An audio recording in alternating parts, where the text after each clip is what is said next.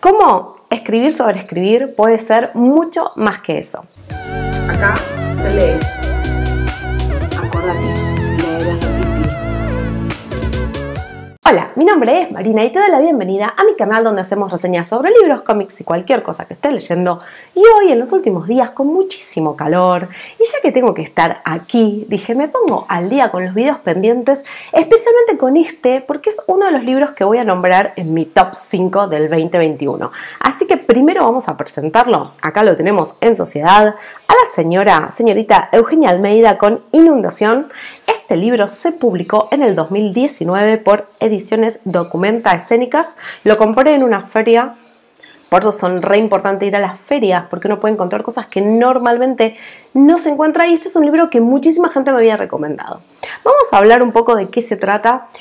Recién estaba leyendo, ya saben que yo siempre leo las reseñas después de leer el libro y lo catalogan como un ensayo híbrido. En realidad son una serie de entradas o mini capítulos donde la autora reflexiona sobre el hecho de escribir o lo que ella le motiva. Pero como siempre que pasan estas cosas, donde uno se pone a hablar de algo en particular, cuando creo hacemos el, el micrófono, eh, hacemos foco, hacemos zoom muy, muy, muy grande a algo muy chiquito, eso también nos sirve para todo el resto de la vida. Así que para mí no solamente eran máximas para escritores o para entender lo que es escribir, sino que se puede traspolar a un montón de cosas. Y en el medio de eso se les quería mostrar, son entradas como muy cortitas, está absolutamente, o sea, me gustó tanto que lo marqué todo, o sea, cada hoja está marcada, eh, tiene listas, tiene reflexiones, tiene momentos de su vida.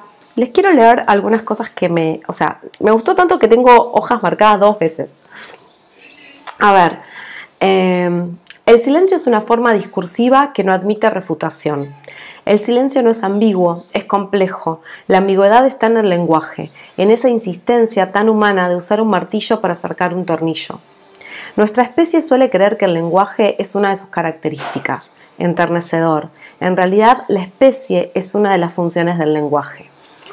Acá, esperen que les voy marcando las que me gustaron porque si estaba... Ah, esta.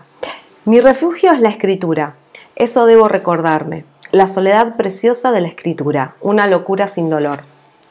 Y a ver si llego a encontrar el otro que era ¿por qué escribo? Ah, comenzar a escribir tiene que ver con el deseo, continuar escribiendo no. Una vez que se abren los ojos y se reconoce que uno está en medio del desfiladero, solo, sin ver qué hay más allá, impulsado por lo que se presenta, entonces la escritura deja su lazo con el deseo. Ahora está en el orden natural de los cuerpos, el movimiento. Como en todo paisaje de supervivencia, el que se queda quieto es el que muere primero.